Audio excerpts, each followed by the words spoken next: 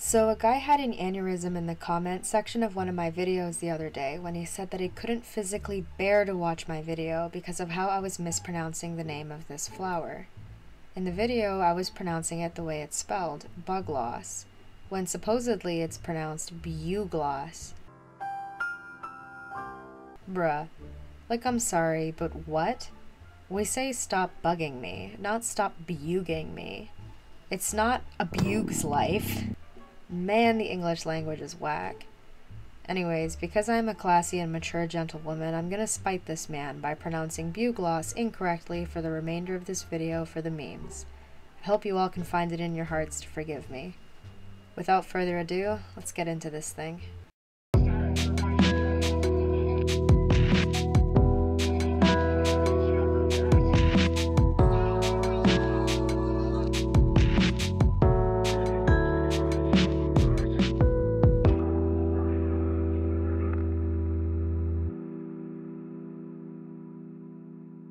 Alright, so this video is going to be going over some of the best spots to farm materials in ESO. When I say best, I mean that these locations are easily accessible, they have plenty of nodes to harvest that are all in close proximity to one another, and there are little to no adds in the area to annoy you while you try to farm. When looking to establish your own farming route, I would recommend scouring starter zones or areas that are deep into a zone, far away from any major cities with lots of players in them. You'll find that the nodes in these places are often plentiful, and there will be less people naturally stumbling upon nodes and stealing them from you. For those that may not know, farming materials is a pretty good way to farm a substantial amount of gold, seeing as materials are always in demand and always worth a fair amount of gold. If you can find a really efficient material farming route, you can make upwards of 100 to 300k an hour. If you're still relatively new to the game and unable to comfortably complete certain kinds of content that reward you with gold, or if you're just looking for a chill way to pass the time while making bank, then farming mats to sell for gold is the way to go. Be sure to slot the Plentiful Harvest and Master Gatherer stars from the Craft CP tree while farming for a chance to get double the yield when harvesting a node, and to reduce the amount of time it takes to harvest a node, respectively. For those wondering, because I often get asked about this, I'm running an add-on called Harvest Map. It highlights node types on my map and in my world once I discover them. I know that a fair amount of you guys play on console though, and I know that it can be a bit of a bummer to see stuff like this when you don't have access to the utility of these add-ons. So I've made an effort to showcase my filled out harvest map for each of the locations mentioned in this video. Feel free to screenshot them to help you map out a farming route for these areas or to use while farming. Here's to hoping that some more quality of life tools can be implemented into the game soon. If you're looking to farm a lot of bugloss, as well as other alchemical reagents and raw materials, one of the best areas to farm is in Betnikh. Port to the Carved Hills Way Shrine and follow this general route that I'm highlighting on my map. This particular route is nice because it loops right back to the Way Shrine, so when you're done farming, you can just port somewhere else, like to a hub city to refine all your goods. Speaking of, where do you guys go to do all your crafting and refining? I've been a Vvardenfell girl since day one myself. The township of Fells Run is another superb spot to farm materials. The area is vast, full of nodes, and there are no adds to be seen. Oh look, a Boojloos. I will usually do a lap around the perimeter of the town itself, and then I'll run around the farmlands that are adjacent to it. On PCNA, this place was also a pretty lit role-playing hub, so farming mats while reading some spicy European zone chat was always a good time. The farmlands of Fair are a great spot to farm alchemy mats like Boogerloos. I find that there's a ridiculous amount of water hyacinths in this area, which are used to make some crit potions. I like to start at one end of the lower farmlands and then gradually make my way up to the higher levels.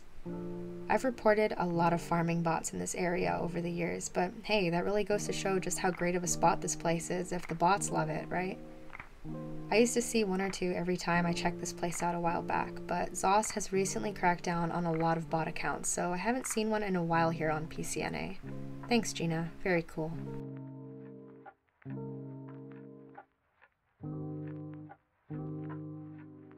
The coastline of Khenarthi's Roost is a great spot to farm lots of wood nodes from all the driftwood, as well as ore nodes from all the rocks and small cliffs. Unfortunately, there aren't too many Esht Oxenzunga nodes in this area.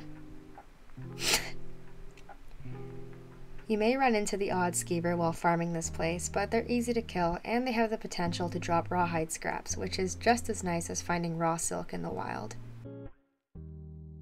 If you're like me and you had no idea Bal Foyen even existed until you had to go looking for a lead in this area, I'll point it out on the map. It's to the east of Stone Falls. A great spot for farming mats here is right outside Fort Zeren. If you hug the sides of these elevated rock surfaces, you'll find yourself running into a lot of ore nodes, and once those have all been harvested, you can move into the fields to harvest silk nodes and alchemy nodes.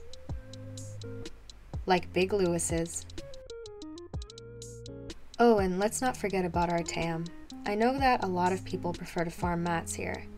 Not only is Artaeum such a pretty place, but there are no adds in this entire zone, and there are a lot of Psijic portals to be found here. Pretty fitting, huh?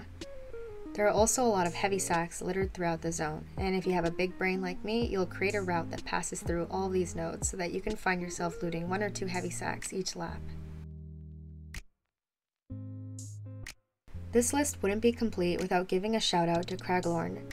What makes Craglorn unique from other zones is the fact that there is a chance for potent or fortified Nirncrux to drop from wood, ore, or cloth nodes in Upper Craglorn. I like to port to the Valley of Scars Way Shrine and then pay a visit to each of the Nirncrux mines in the area. They show up as world boss locations on your map. I gather all of the materials that I see while doing so. Once you've looted every node in the area, you could always port over to Shada's Tear and grab a whole bunch of alchemy nodes that spawn over there. Yeah, no, I'm just gonna keep calling it bug loss. Come at me, haters. Those are some of what I think are the best spots to farm materials in ESO. They live up to the expectations that I set at the beginning of the video, and I've had a lot of luck farming these locations personally. However, I know for a fact that there are other great mat farming spots out there, so if any ESO veterans are watching this video and want to share a spot that they'd like to farm, feel free to do so in the comments section. Although I completely understand if you'd like to keep your sacred farming route a secret. If any of you guys give any of these farming routes a shot, I hope that they can serve you well. That's all for today's video, I'll catch you guys in the next one. Cheers!